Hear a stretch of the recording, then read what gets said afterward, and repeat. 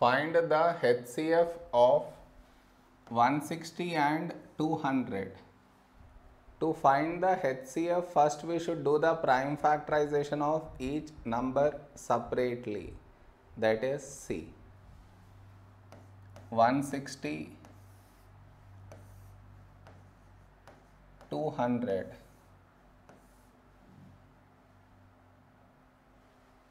Okay. Next. For this number last digit is 0. So we take 5 here.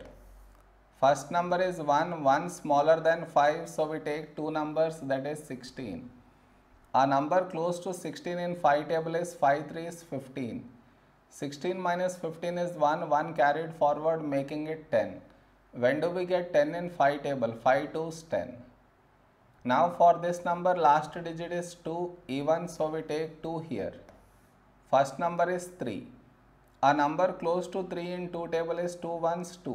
3 minus 2 is 1, 1 carried forward making it 12. When do we get 12 in 2 table? 2, 6, 12. Now here we have 16. 16 is 2, 8, 16. Now 8 is 2, 4s, 8. 4 is 2, 2s, 4.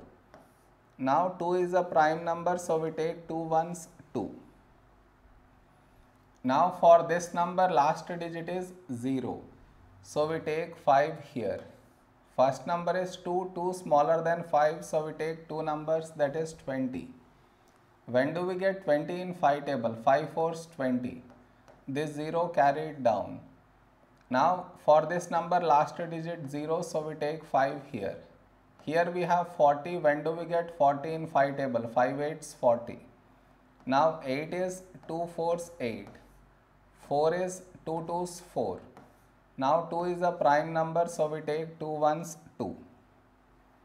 So now our HCF is HCF is the product of numbers that are present here and also here. So now we should find the numbers that are present in these two places. I repeat, we should find the numbers that are present here and also here. So let us find starting with the number 5. Do we have 5 here? Yes. So you cut 5 and write here. Next number is 2. Do we have 2 here? Yes. So you cut 2 and write here. Next number is 2. Do we have 2 here? Yes. So you cut 2 and write here. Next number is 2. Do we have 2 here? Yes. So cut 2 and write here. Next number is 2. Do we have 2 here? No.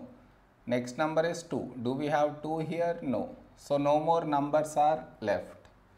So now you multiply these numbers. Whatever number you get that is your HCF.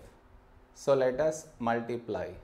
That is 5 into 2, 10. 10 into 2, 20. 20 into 2, 40.